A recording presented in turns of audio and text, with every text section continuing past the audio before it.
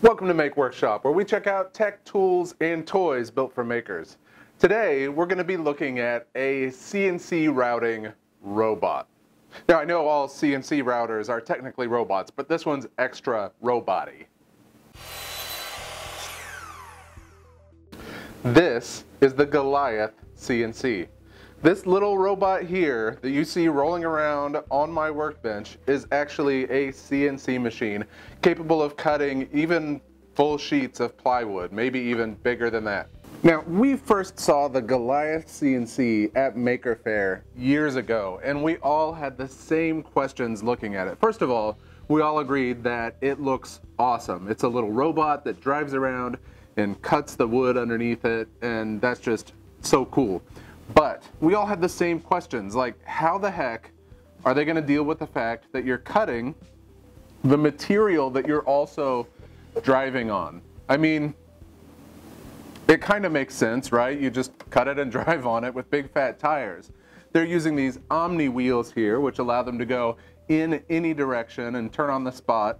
But then you have to think about things like, what about if you cut a pocket or a large area that's hollowed out? How do you deal with that? And really, the power of Goliath, I think, is mostly in the software, though the hardware is no slouch either. Let's get into it. Hey you, are you subscribed to Make Magazine yet? If you like this kind of video of projects and stuff to build, you are gonna love Make Magazine. It comes out quarterly and it is packed full of tips and tricks, full projects that you can recreate, and feature pieces explaining how makers are changing the world for the better. You can find information on how to subscribe in a multitude of ways, digital or get the actual print edition in your mailbox at the link above, the link below in the description. Now back to the video. All right, the hardware. Well, these are extremely simple uh, as far as using them goes. I don't even know what's inside this. You don't have to interact with it much other than to connect it, move it around a few times, and screw it into your material. The machine itself Let's look at some of the different things here. You'll recognize basically a handheld router for your cutting tool. This is plugged directly in to the Goliath, so you have only one cord to mess with up here, which is good because this is moving around. You don't want a bunch of cables getting in your way. Now, the Goliath itself has handles, again, really, really pushing that portability aspect of the Goliath. It also has built-in dust collection. This whole system pops off and you have your dust bin with filters on top. I was actually quite surprised with how well this worked. You can see the output port there and that just pops back on there. You can see they thought this out. There are filters on all of the inlets for where the, the machine needs air to cool down the motors. It's got these giant uh, omnidirectional wheels here. Now these are the kind of wheels that allow it to go in any direction or spin on the spot and you can see they've got them three layers deep so that when you're going over a cut the size of my finger or something like that, it has no problem. It's always kind of got a grip and the ability to move around. It also has the built-in uh, dust boot. And that's really it for the hardware. It's hefty, it feels rigid, it does not feel at all like it's gonna come apart. However, the dust hood itself is held on by magnets, which is good. You want it to be able to knock off really easily so it doesn't hurt anything, but also it kind of came loose a bunch of times during my cut. Luckily, there's a sensor that tells when it's loose. You go over, you put it back in place, and it resumes the cut, no problem. So now let's talk about the software and the actual process for cutting. Now it seems with the software they are really trying to make this as user-friendly as possible. It vaguely reminds me of something like Easel or something like that. Here we have the interface. It's called Slingshot and you bring in SVG files. Unfortunately, you're not going to be doing your uh, CAM stuff in other software and exporting it and bringing it over in the G code. And you're not going to be cutting 3D files. This is really 2.5D. So that means you can cut um, outlines and shapes, and then you can even do pockets, but that's it. No like contours like a human face or something like that. Here you can actually see where the black lines here are uh, the outlines that I wanted cut. And then that gray block there is a pocket because I was extremely curious how this is going to handle a pocket. Now again, for those who are unfamiliar, a pocket is where you actually hollow out a hole or a big section, at least a little bit. In this case, I was going a little over seven and a half millimeters down, which is enough that it would affect this if it drove over it. The pocket was big enough that a whole wheel could fit inside of it, and I just really wanted to see how it would handle it. Turns out it handles it just fine. You see, the software, aside from being very easy to use, which it was extremely easy to use, really does a lot on the back end that you never see. There's a lot of computation that goes into how to move the machine so that it stays on the material, doesn't uh, ram into the sensors or the power uh, cord, and then approaches the cuts at the right angles so that it's never really in danger of losing its grip, and then cutting that pocket without ever having to run over that spot again. There's a lot of computation that goes into it whenever you hit compute after you put in your file, and it worked. I'm going to say that the, the planning and everything worked flawlessly. The uh, the Goliath itself is uh, for sale on their website, goliathcnc.com, as a pre-order right now for just under $4,000.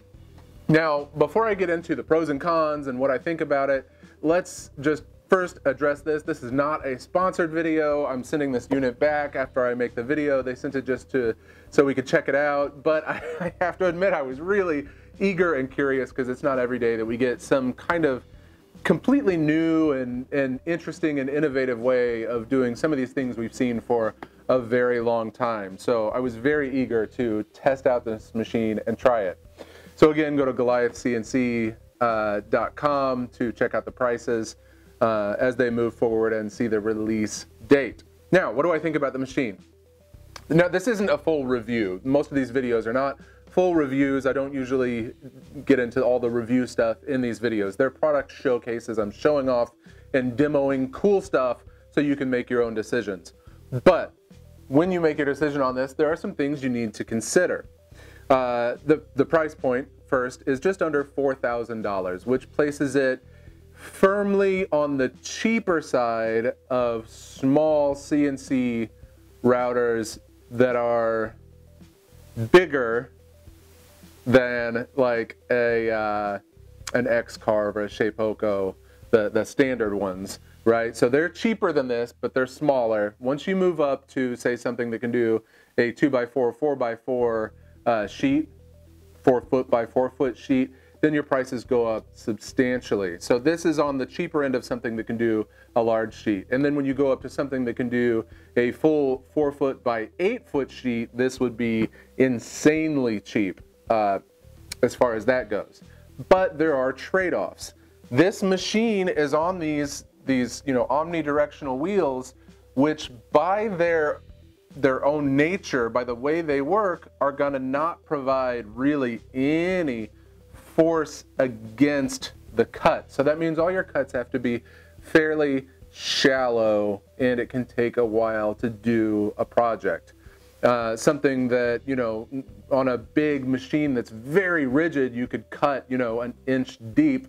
On this, you're really cutting only a few millimeters at a time and, and quite slowly at that to avoid things like chatter or, or vibration in the machine. But you can throw this in a duffel bag and carry it to a job site. So there's a, a trade-off there. And I'd say really of all of the selling points that this machine may or may not, you know, push, the portability seems to be the one defining, like, really standout factor of this machine. It's got these handles, it's portable, you could throw it in a bag, take it to your job site, keep it in the back in your car trunk, never even notice it's there. One thing I would have liked to have seen, since portability seems to be like the main selling point, would be a way to store end mills, the, the wrench to take the end mills out, other collets, screws because you need screws to screw these in, and even to store these. So maybe a clever way of attaching them on here when it's in transit or even just a bag, a cheap bag that you could throw it all in would have maybe been nice, but absolutely isn't necessary. Um, as far as its capabilities, as you saw, it cut the project I threw at it. This is not very high quality wood, so you may have seen some of that vibration that I was getting.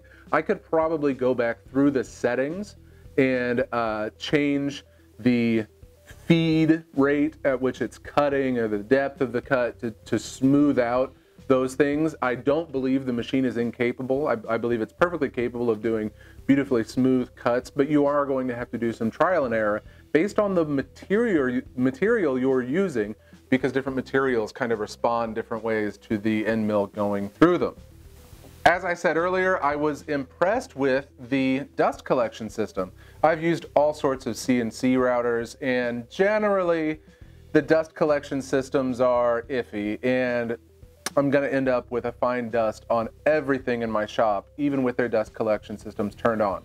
This one, I was quite surprised with how well it collected it. I mean, it, it makes sense because this is just so tight to the material. You can see here, I can't even get my pinky underneath it. So it's really, really capturing it. Uh, and it filters it quite well. Um, I, I, I was impressed there. And then the fact that, you know, this machine figured out the paths to go to be able to cut all this and it cut, you know, that project on that plywood. I, I have to say I'm impressed with how well it turned out. Thanks for watching. I hope you enjoyed it. Be sure to give us a thumbs up on this channel. It really helps us out a lot and subscribe so you don't miss out on any of our future cool videos.